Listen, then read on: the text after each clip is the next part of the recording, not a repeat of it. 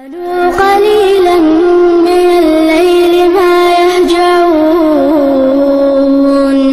وبالأسحار هم يستغفرون لہذا حضرت علی رضی اللہ تعالیٰ کا تو وہی فرمانا ہے جو اہل سنت و جماعت کا کہنا اہل سنت و جماعت کے اعتقادات حضرت علی سے میل کھاتے ہیں۔ دشمنان صحابہ کے اعتقادات حضرت علی کے اعتقادات نہیں ہیں، الگ اعتقادات۔ اور یہ ان کی کتابوں سے ثابت کرنا میرے ذمہ کہ میں ثابت کر سکتا ہوں کہ حضرت علی کا دین کیا تھا۔ میں آپ سے مثالاً کہتا ہوں، حضرت علی نے کبھی کسی زمانے میں کوئی مسجد پڑھی ہے؟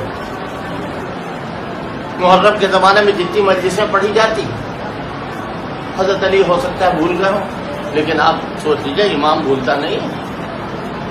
اس جگہ آپ نے ان کو امام کہا ہے، مانا ہے، حضرت حسین کے یہاں کبھی کربلا میں تازیہ دفن ہوا ہے؟ حضرت علی کا تازیہ کسی نے اٹھایا؟ حضور کا تازیہ حضرت علی نے اٹھایا، بنایا، بنوایا۔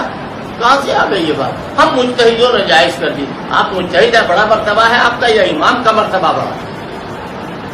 اماموں کے دور میں کہیں تازیہ داری نہیں اماموں کے دور میں کہیں تبرے بازی نہیں۔ اماموں کے دور میں کبھی بھی موتا نہیں پایا گیا۔ کہاں سے لیا ہے حضرت علی کا وہ دین ہے جو ہمارا دین حضرت علی ہمارے تھے، یہ بات میں نے ضمن کہی ہے۔ لیکن کہنا یہ چاہتا تھا کہ چاروں خلفاء کا افضل امت ہونا ان کی خلافت کی بنیاد پر نہیں ہے۔ اگر ان کے علاوہ کوئی اور خلیفہ ہو ہو جاتا، تب بھی یہ افضل امت۔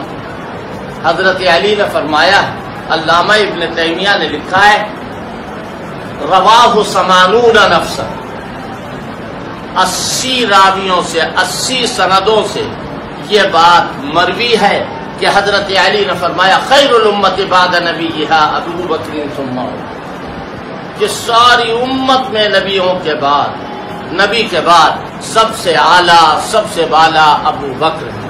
پھر ان کے بعد عمر ہے۔ فرمایا ایک موقع پر حضرت علی نے کہ اگر لا یفضلنی علی ابی بکر و عمر، کہ مجھے فضیلت نہ دینا ابو بکر عمر پر۔ اگر فضیلت ہوگی جلد تو حد المفتری۔